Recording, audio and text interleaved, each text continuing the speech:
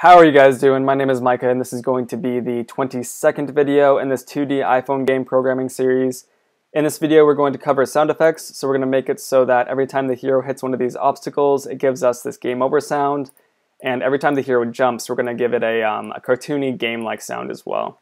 So one thing before we get started is we're going to go into our app delegate class actually. We haven't used this, um, we haven't actually worked with this class yet in this tutorial, but this is something you should do in pretty much every single one of your Sprite Kit games. Um, this is a Sprite Kit error, the reason you actually have to uh, put in these two lines of code. Apple um, hopefully will update it sometime in the near future, but it's just about four lines of code you need to put in, and um, be sure they're in every single one of your games. Uh, so what we're going to do, I'll explain exactly what it does after we type all this out. We're going to do the skview after actually we import we have to import our Sprite Kit framework uh, into the app delegate. So now we can do skview view equals skview self.window.root view. And then we're going to do view dot. Let me check. Actually, it's the scene or it's the view we have to pause here. Let me check in um, one of my other apps here. Okay, it's the view we actually have to pause. So we're going to view dot paused equals yes. Now, the reason we do this is if animations are running when you close, um, if certain animations are running when you go to the home screen, so you tap that home button on your iPhone while your game is running, um, it might give you a memory warning which will crash your app and um, that's really no good because because if you try to submit an app that actually crashes like that to the App Store, Apple will reject it, and it takes about a week for apps to get approved. So um, you want to make sure this is in here, and um, you should be good to go on that crash. So you kind of have to do the opposite thing here in the application will enter foreground method, otherwise the view will always stay paused when you hit the home screen. So you can just copy this line of code and then just do view.paused equals no. So that should just fix a little error you guys have. Um, I believe someone left a comment around my eighth video or something um, asking about this. So if someone calls you while your game is playing, this will also fix that issue where um, it will pause your view and then you can return back to the previous state that your game was in using these four lines of code. So now we can move on to sound effects. We are going to go into our ML Hero class and first we need to get the sound effect files. So I will link to a website called freesound, uh, freesounds.org. It's a super nice place for getting game effect sounds. Um, some of them, some of the sounds on there are posted under the attribution license and others under the Creative Commons license. The attribution license means you actually have to link back to their page or link back to something in your game if you want to use that sound. Creative Commons license means you can use it and you're good to go. So I'm going to link the two sound effects um, in the description below that you can download on that site. You need to create an account, I believe, to actually download them, but it is worth it. It's a great site, and um, people just post their sounds on there, and you can get all these sounds for free.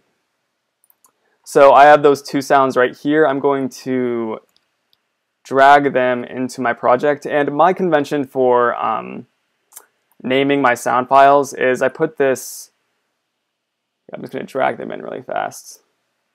I have this on jump and this on game over sound here.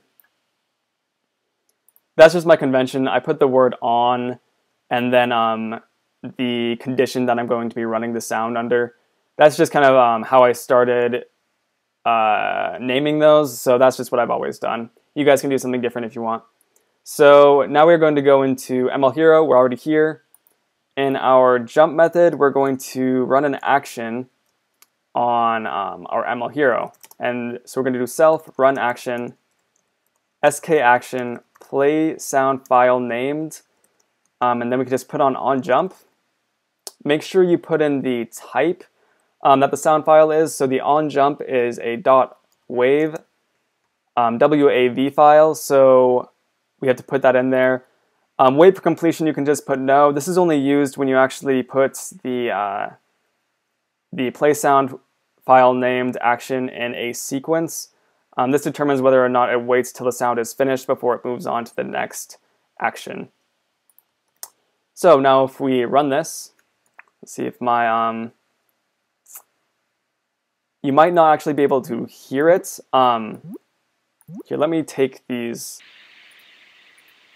So now you can hear that our hero is getting this little jump cartoon sound, which is exactly what we want. Hopefully the sound quality is decent.